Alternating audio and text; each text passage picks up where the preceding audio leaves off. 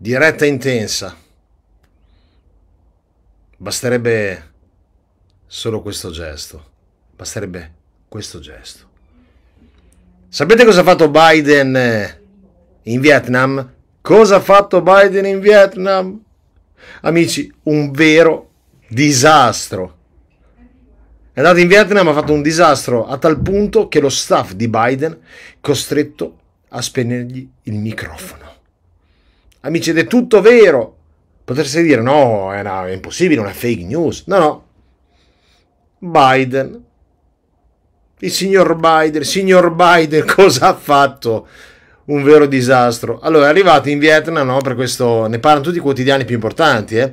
È arrivato in Vietnam Biden per, eh, per un incontro no? bilaterale. Putin sta perdendo la guerra, è sconcerto però per la gaffa di Joe Biden. In che mani siamo? Altro disastro di Joe Biden, lo sconcerto di Recalo, l'ultima incredibile gaffa. Amici, è veramente... Ci sono dei titoli incredibili a questo qua di Biden perché c'è ricascato Joe Biden. C'è ricascato. Il presidente americano di cui da mesi si discute della tenuta psicologica e dalle difficoltà nei contesti pubblici, una difficoltà evidente, che ormai è evidente a tutti, ha portato il suo addetto stampa della Casa Bianca ad intervenire interrompendolo durante la conferenza stampa in Vietnam.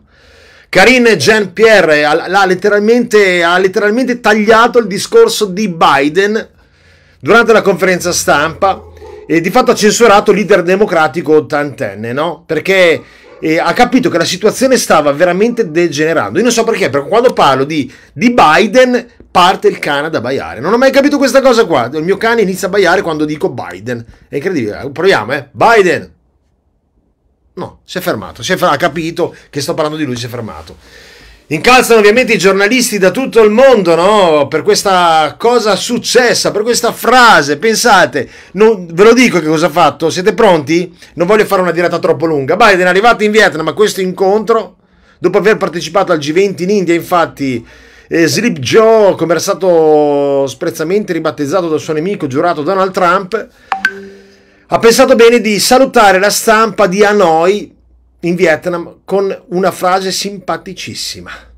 Siete pronti? Vi ricordate il film? Eh, il film, no? Good Morning Vietnam. Bene.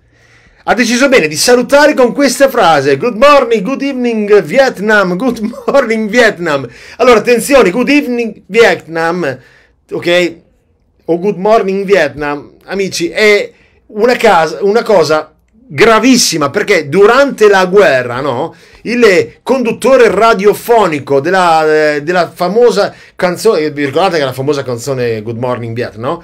di fatto era una frase che utilizzavano, era simbolo dei bombardamenti a tappeto degli americani nei confronti dei Viet Cong e dei civili vietnamiti. Ecco, Biden, senza pensarci, li ha salutati così.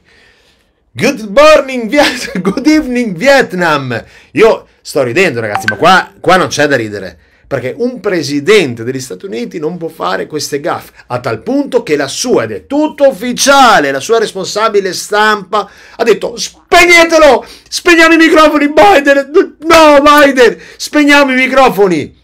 Amici, veramente, io vi chiederei un parere, vi chiederei di condividere, notizia flash molto breve, ci sentiremo alle 18.30, alle 19.30, perdonatemi, con le notizie del giorno dal paragone, che ne abbiamo alcune clamorose in modo impressionante.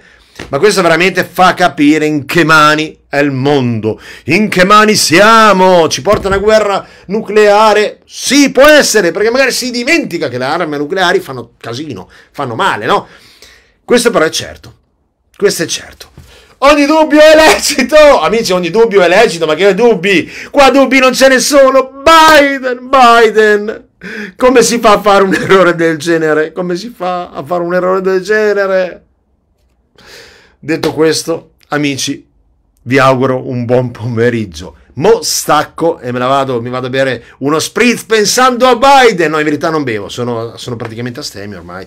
Poveri noi, come, dite, come dice Rosaria, poveri noi amici, è tutto vero, è tutto vero. E pensate che c'è qualche democratico italiano che dice ancora, prendiamo spunto da Biden. Anche la nostra Presidente del Consiglio ultimamente l'ho vista per manino con Biden. Devo dirlo, eh, devo dirlo. Io sono onesto e dico tutto, amici. Io sono onesto e dico tutto. Mi dicono che Dani ha visto il video questa mattina. Io ovviamente non posso pubblicare il video perché potrebbero bannarlo per questione di diritti, ma è tutto vero. Tutto verissimo. Biden, figurona incredibile! Good evening, Biden.